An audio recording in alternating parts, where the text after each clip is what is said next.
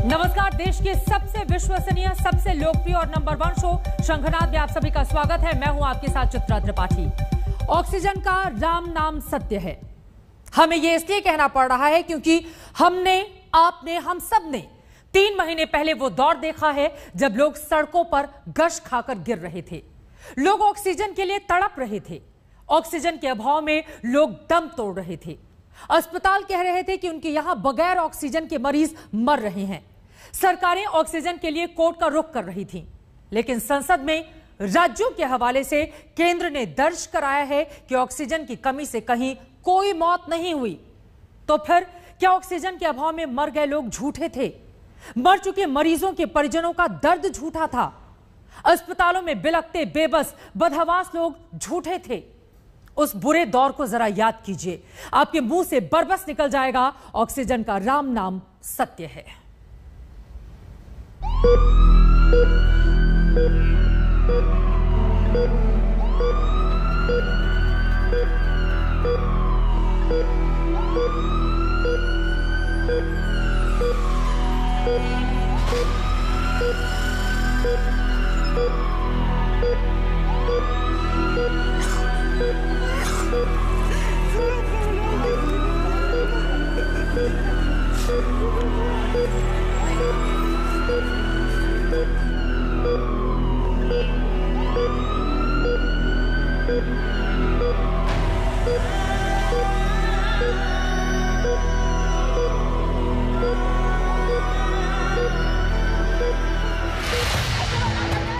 चीख पुकार झूठी थी। झूठी थी आंसुओं की धार।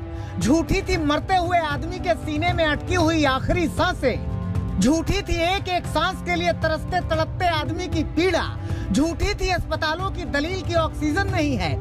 झूठी थी हाईकोर्ट की फटकारें कि ऑक्सीजन दिलाओ। झूठी थी बगैर सांस के मर गए आदमी की लाशें। झूठी थी सोशल साइट पर सिलेंडर के लिए रियाते लोगों की आस।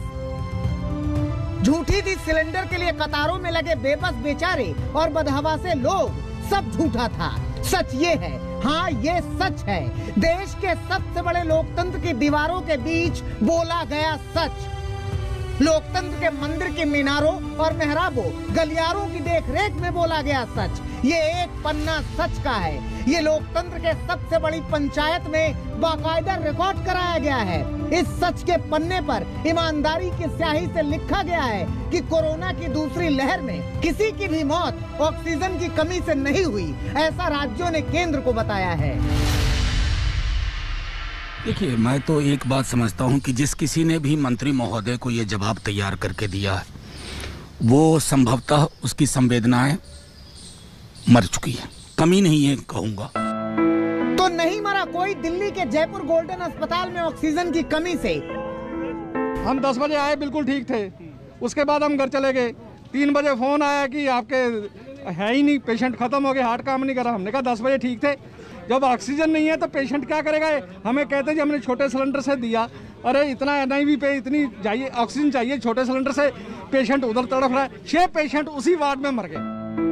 तो नहीं मरा कोई भी अमृतसर के नीलकंठ अस्पताल में बगैर ऑक्सीजन के। ठीक होना करके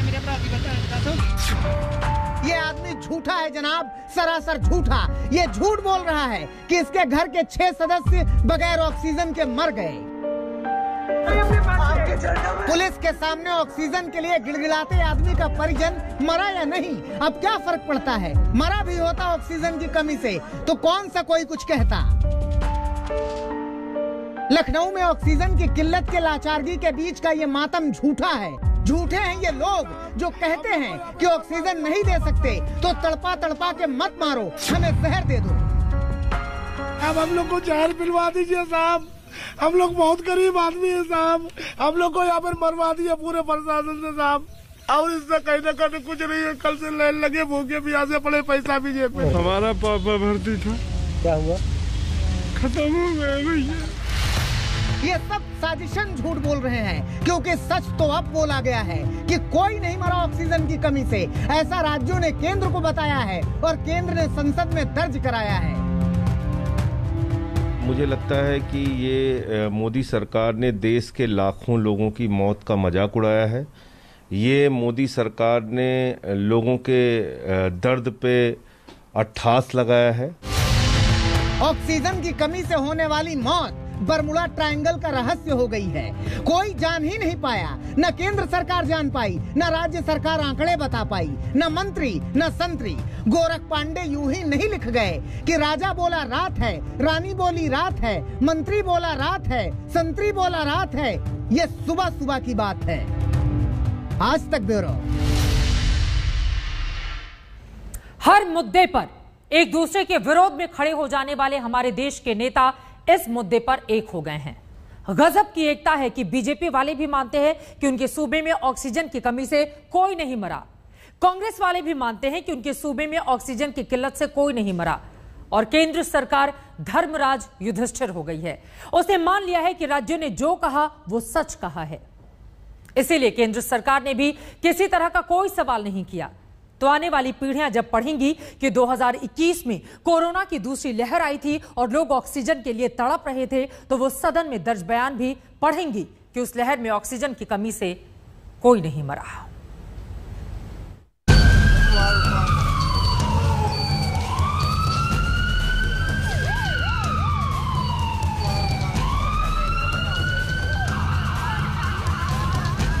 मुझे बहुत दुखद रूप से ये देखने का मौका मिला कि ऑक्सीजन न होने के कारण हॉस्पिटल के कंपाउंड वॉल के बाहर लोगों की मृत्यु देखने के लिए मिली। तब नितिन गडकरी को नहीं मालूम था कि महज तीन महीने बाद ऐसा समय आएगा जब लोकसभा में उनकी बातों को झूठा ठहरा दिया जाएगा। संसद में जो सरकार ने कहा है उसका अर्थ यही है कि नितिन गडकरी का सच दरअसल झूठ है। तो सतरंगी लोकतंत्र की जय, जहाँ अपने मन माफिक मुद्दे पर पक्ष विपक्ष एक हो जाते हैं। एक हो जाती है उनकी राजनीति, एक हो जाती है उनकी सोच, एक हो जाता है उनके बोलने का तरीका। ऑक्सीजन की कमी पर होने वाली मौत पर राजनीति संगठित हो गई है। तो लखनऊ की तरसती, तड़पती और दम तोड़ती निगाहों को झुठलाइए। आगरा में अपने मरते हुए कोरोना संक्रमित पति को सांस देने की कोशिश करती रेणु देवी की इस तस्वीर को भी झुटलाइए वाराणसी में बगैर ऑक्सीजन के ऑटो पर पड़े इस मरे हुए आदमी की तस्वीर को भी झुटलाइए और आगे बढ़ जाइए, क्योंकि सच वो है जो संसद में केंद्र सरकार ने कहा है। पटना के पीएमसीएच में ऑक्सीजन के लिए तरसते तड़पते दम तोड़ते। अगर अब तक आपको याद है तो आप भूल जाइए। क्योंकि बिहार में तो ऑक्सीजन की कमी हुई ही नहीं थी और कमी नहीं हुई थी तो मौत का सवाल ही कहाँ उठता है? क्यों मंत्री जी? है ना? सर मौतों के आंकड़े को लेकर के जो सरकार कह रही उस पर आपका क्या कहना है? इतना बता दीजिए। जी? सरकार जो कह रही है कोई सूचना नहीं हमारे पास नहीं इसको लेकर के जो कहा गया है कि जो मौतें ऑक्सीजन की वो केंद्र सरकार में कैबिनेट में कहा गया हमारे पास नहीं है कोई सूचना। मध्य प्रदेश में ऑक्सीजन की किल्लत के बीच एक भी ऑक्सीजन प्लांट नहीं था। अस्पताल चिल्ला रहे थे कि हमारे मरीजों की जान खतरे में है। लोग मर रहे हैं। ऑक्सीजन दिला दीजिए। लेकिन मजाल है कि मंत्री जी मान ले। कैसे मान ले? झूठ को कौन मान सकता है? सच तो वो है जो मध्य प्रदेश के स्वास्थ्य मंत्री कह रहे हैं। तो ये कहा जा सकता है कि बिहार में ऑक्सीजन की कमी से कोई मरीज़ की मौत नहीं ना, जो भी अस्पताल के अंदर हमारे मरीज़ आए, सभी अस्पतालों में, सरकारी और प्राइवेट अस्पतालों में मरीजों को हमने ऑक्सीजन दिया। बीजेपी शासित राज्यों के मुख्यमंत्री उस सच के झंडा बरदार बन गए हैं, जो केंद्र सरकार ने लोकसभा में कहा है। और इस सच को झूठ बता रहे हैं कांग्रेस के नीति नियंता। तो राहुल गांधी ट्वीट करते हैं कि सिर्फ़ ऑक्सीजन की ही कमी नहीं थी, संवेदनशीलता व सत्य की भारी कमी तब भी थी, आज भी है। झूठ की अदालत में सच। प्रियंका गांधी भी कह रही हैं कि केंद्र सरकार ने झूठ बोला है। मौतें इसलिए हुई क्योंकि महामारी वाले साल में सरकार ने ऑक्सीजन निर्यात 700 फ़ीसदी तक बढ़ा दिया, क्योंकि सरकार ने ऑक्सीजन ट्रांसपोर्ट करने वाले टैंकरों की व्यवस्था नहीं की।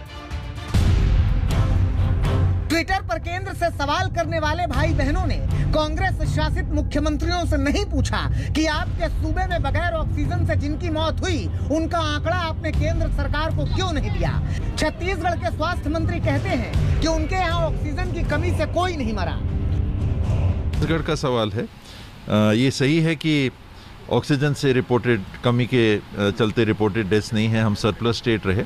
और प्रबंधन में कहीं ना कहीं लास्ट मिनट में कोई आ, कहीं बैकअप कैसा था क्या नहीं था दो चार मिनट का भी ऑफ़ हुआ हो वरना ऑक्सीजन की कमी से डेथ छत्तीसगढ़ में रिकॉर्डेड नहीं है ये तो सही है। राजस्थान के स्वास्थ्य मंत्री कहते हैं कि बगैर ऑक्सीजन के यहाँ कोई मरा ही नहीं। दिल्ली में तो मौत का मातम सबने देखा, ऑक्सीजन की किल्लत सबने देखी। खुद दिल्ली सरकार हर तीसरे दिन कोर्ट में खड़ी मिली थी कि लोग मर रहे हैं, ऑक्सीजन नहीं है। लेकिन दिल्ली ने भी केंद्र को आंकड़ा नहीं भेजा और आंकड़ा न भेजने के पीछे पर्देदारी देख लीजिए। अभी थोड़े दिनों बाद ये भी कह देंगे कि कोरोना तो आया ही नहीं पेंडेमिक तो था ही नहीं। अगर ऑक्सीजन की कमी नहीं थी, ऑक्सीजन से डेथ नहीं हुई तो बार बार हर रोज दिल्ली के अंदर ही हाई कोर्ट में एक के बाद एक हॉस्पिटल जा रहे थे, रोज कह रहे थे कि भाई लोग ऑक्सीजन की कमी है ऑक्सीजन की कमी से लोग डेथ हो रही है। मेरा तो ये कहना है कि जले पे नमक छिड़कने के बराबर है। केंद्र सरकार जले पे नमक छिड़क रही है, लोगों के घरों में डेथ हुई है, उसके ऊपर कम से कम आप कुछ नहीं कर पाए, उनको बचाने में मदद नहीं की, कम से कम उनके जले में नमक तो न छिड़के। यही चरित्र है सियासत का। आम आदमी ज़िंदा है तो वोट है। आम आदमी मरकर भी फ़ायदा पहुँचा रहा है तो आंकड़ा है। आम आदमी मरकर भी फ़ायदे का नहीं है तो आंकड़ा भी नहीं है। ऑक्सीजन की कमी से मरे हुए लोगों के परिवारों का दुख आज फिर से ताज़ा है, क्योंकि संसद में सच बोला गया है कि ऑक्सीजन की कमी से कोई नहीं मरा। उन तमाम परिवारों को ईश्वर, ये असहनीय पीड़ा सहने की शक्ति एक बार और दे। आज तक ब्यूरो।